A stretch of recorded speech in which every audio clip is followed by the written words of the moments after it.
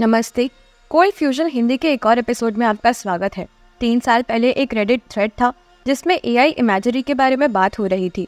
एक यूज़र ने कहा कि सोचो कुछ सालों में हम सिर्फ़ कुछ सेंटेंसेस से फ़ोटो रियलिस्टिक वीडियो बना सकेंगे। एआई तो क्रेजी है।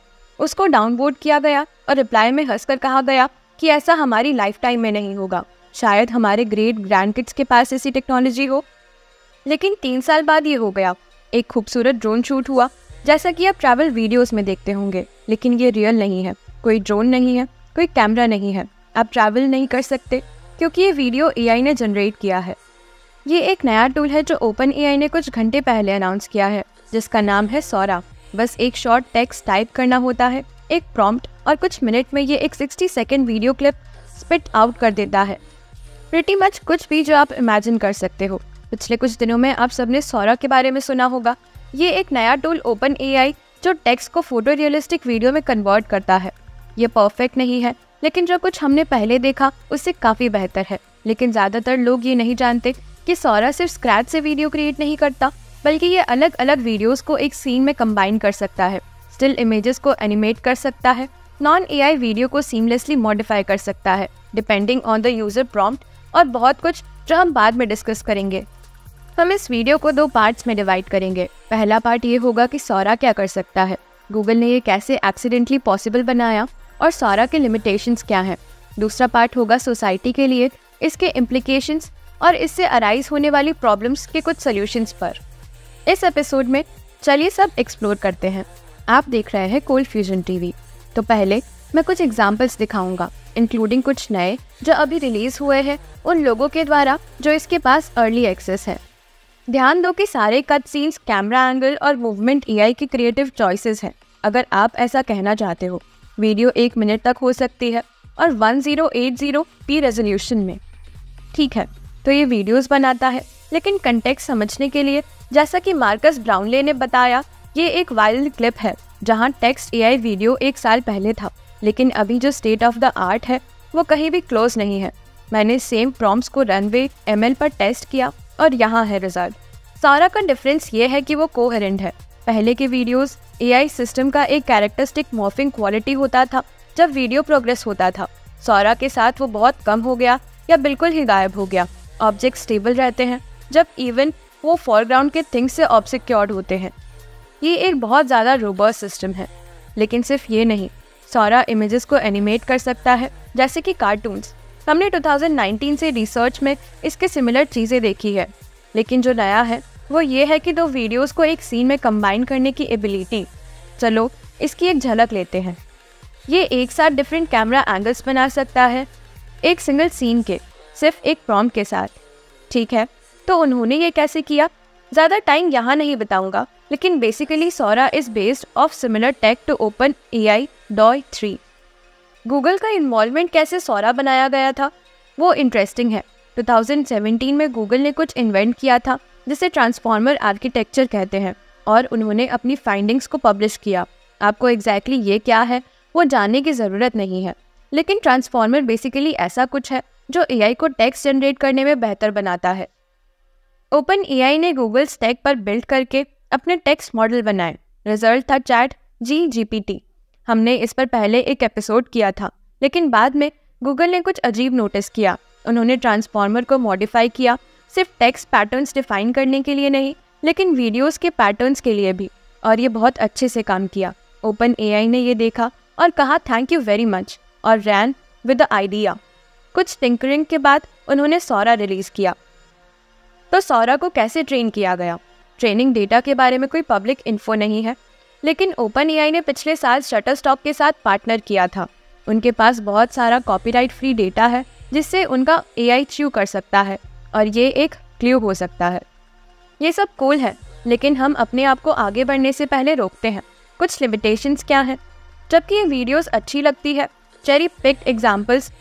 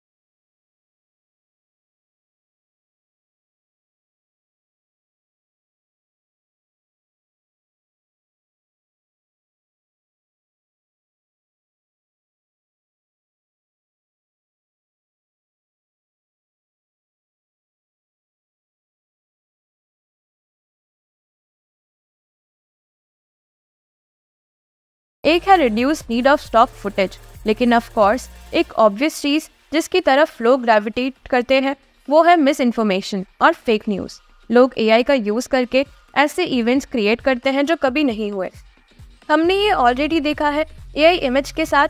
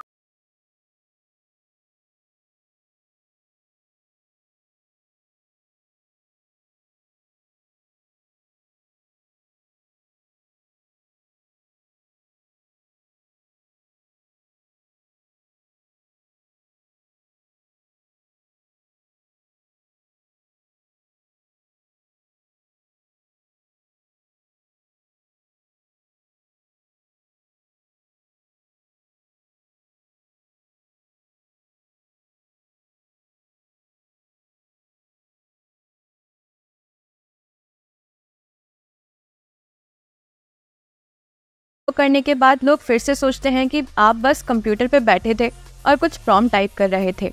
अगर आप एक क्रिएटिव हो, जो यूनिक विजुअल कंटेंट में स्पेशलाइज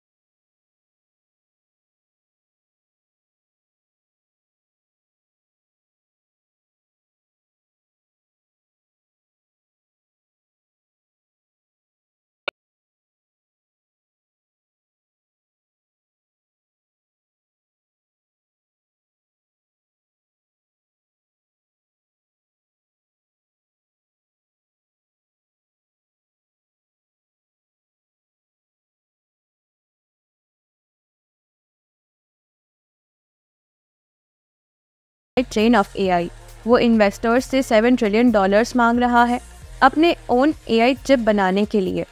और जैसा कि एक प्रीवियस एपिसोड में मेंशन किया गया था सैम चाहता है बिल्ड करना एक एआई फ़ोन विद जॉनी फोर ऑफ़ एप्पल फेम लगता है वो आउट ऑफ़ कंट्रोल है या कंप्लीट कंट्रोल में।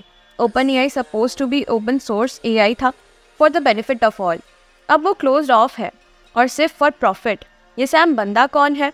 एनी anyway, और वो क्या चाहता है? वेल आज तुम्हारा लकी डे है मैंने उसकी स्टोरी पर एक फुल